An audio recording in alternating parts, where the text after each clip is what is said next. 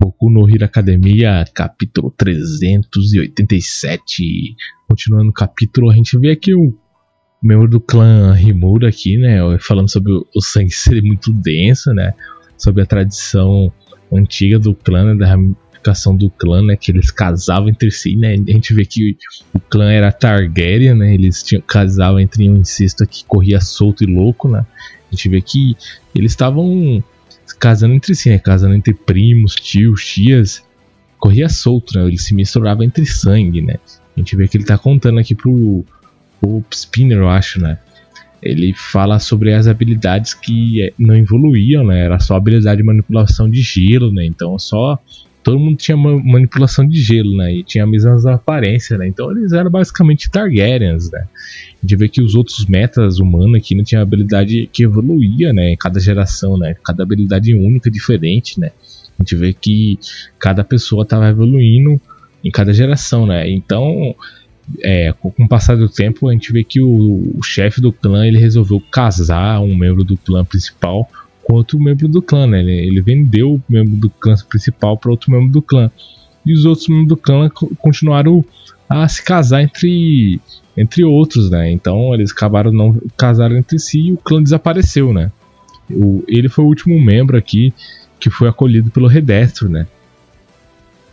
Então a gente vê que esse acúmulo de fator aí que é, é um pouco meio que desconhecido, né? Então que causa tipo uma habilidade extra né, que sempre causa uma mutação, né? Então é, a gente não sabe o que vai ocorrer aqui. O que ele está querendo dizer é que o Toy aqui, né? O cara que está lutando com o Endeavor, ele acabou de descobrir uma nova peculiaridade dele aqui, né? A evolução da peculiaridade dele, que é quando ele nasceu, ele nasceu com uma habilidade, uma peculiaridade de, fogo azulado. Só que agora que ele tá perto de morrer, né? Ele tá se matando. Vai aparecer que ele tem também gelo, né? Então ele também tá descobrindo a habilidade dele de gelo. Isso que vai mostrar que ele despertou essa habilidade. Assim como é o Todoroki, né? O Todoroki também tinha essa habilidade. A gente vê que o Endeavor aqui, ele tá parecendo que em alguns quadrinhos aqui ele tá sem uma das mãos, né? Ele parece que perdeu uma das mãos aqui. Não sei se foi mal desenhado se ele realmente já perdeu, ficou com a mão amputada, né?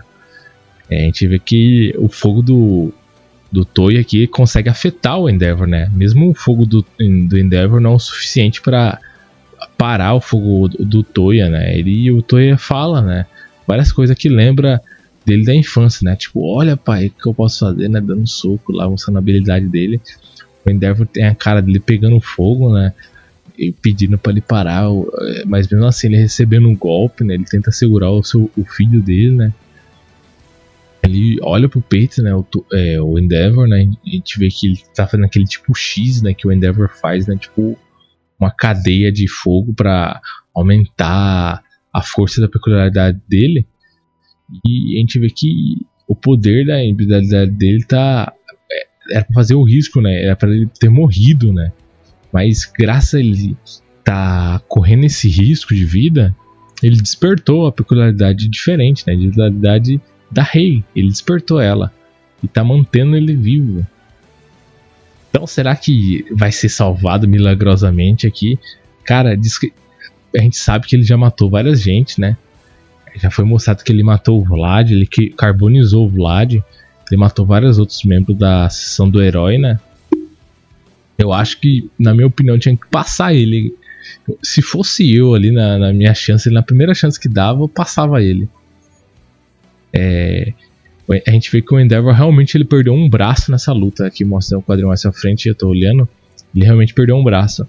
A gente vê que o Toyo aqui, ele tá tentando se explodir junto com o pai dele, né? Ele tá tentando levar o pai dele junto com, com ele, né? Só que tem um problema, né? O Endeavor não conseguiu se afastar, né?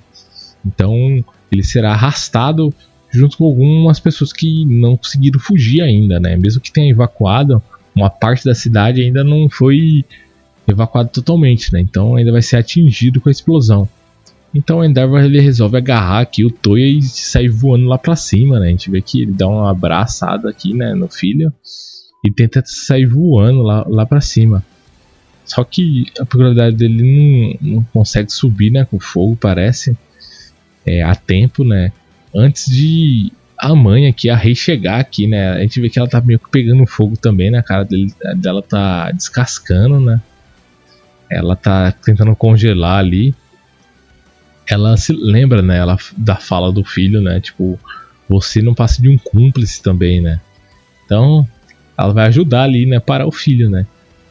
Será que ela também vai morrer junto com o Endeavor, né? Na minha opinião, tinha que ir, né? Tinha que os dois passarem, né?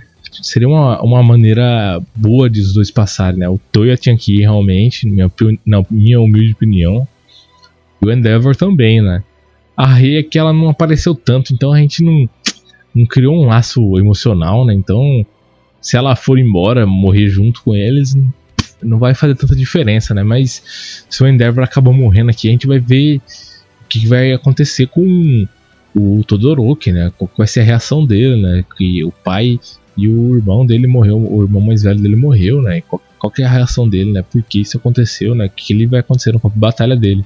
A gente vê que o Todoroki tá indo o mais rápido possível para tentar ajudar, né? Então, será que ele vai chegar bem no momento em que ele vê o pai e a mãe dele morrendo junto com o irmão dele mais velho? O que, que será que vai acontecer no próximo capítulo?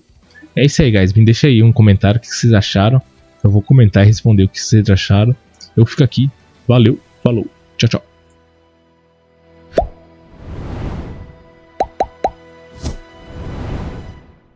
Se você gostou do conteúdo, não se esqueça de dar like e se inscrever no canal. Eu fico aqui, até a próxima!